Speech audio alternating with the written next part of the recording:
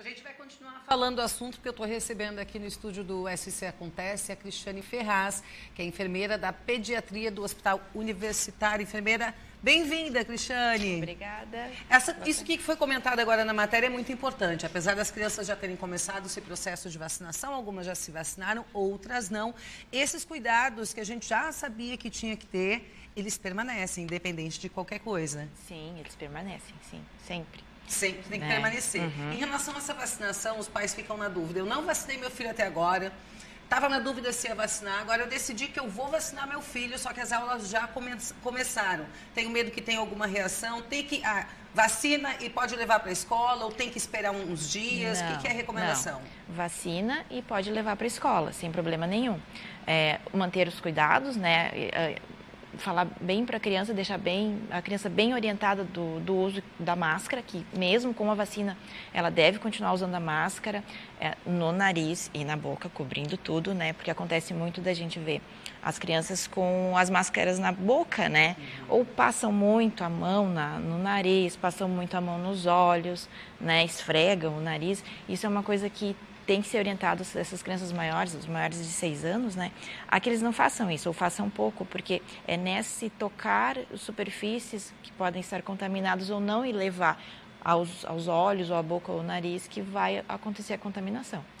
Agora, enfermeira, é, os cuidados que estão sendo é, tomados na escola, justamente para manter o distanciamento, tudo isso, se alguém testar positivo, né, todo, pro- todos os protocolos serão seguidos. Mas no caso das crianças, é, normalmente não, não apresentam sintomas. Se apresentam sintomas, são sintomas mais leves. Então, a que sintomas, o que, que os pais precisam ficar atentos para saber se há necessidade de afastar o filho da escola, levar para fazer um teste de Covid?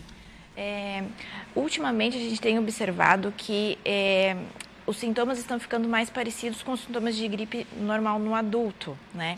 Esse, durante o início desse ano, que é a coriza, o pigarro, a tosse seca, a dor de garganta.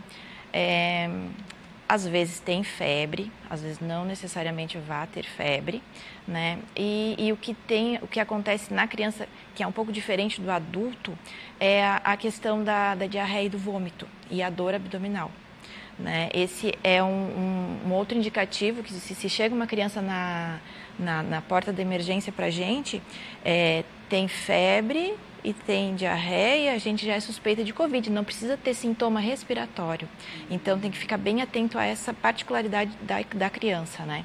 E a outra coisa também que tem aparecido bastante é a cefaleia, a dor de cabeça. Dor de cabeça tá, é, é bem, bem frequente. Nas e crianças nas também. crianças também. E ah, também tem a, a questão da perda do olfato e da perda do, pala, do paladar. É, param de sentir cheiro, param de sentir o gosto da comida. E é uma coisa bem, bem expressiva do, do Covid, né? Tem muita relação com o Covid e para crianças isso tem aparecido bastante, porque as pessoas falam que essa variante, a Omicron, que as pessoas não têm perdido muito olfato e paladar, mas não necessariamente assim, pode acontecer. Pode acontecer. É menor quantidade do que o início do ano passado, né?